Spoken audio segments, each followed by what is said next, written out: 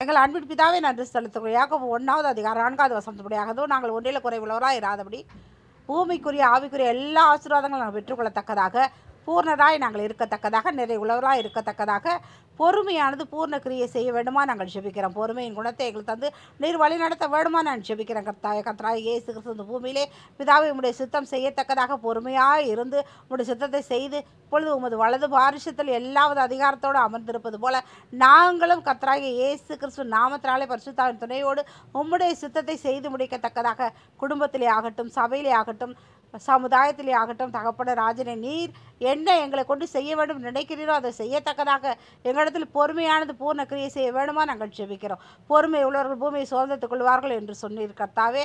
அதேபோல் தகப்பன எங்கள் குடும்பத்தில் உள்ளவர்கள் ஆசீர்வாதமாக இருக்கத்தக்கதாக பொறுமையின் குணத்தை எங்களுக்கு தந்து நீ வழிநடத்த வேண்டுமா ஜெபிக்கிறோம். அப்படி செய்துவிட்ட கிருபைகளுக்காக நான் நாமத்தின் மூலமாக. அமே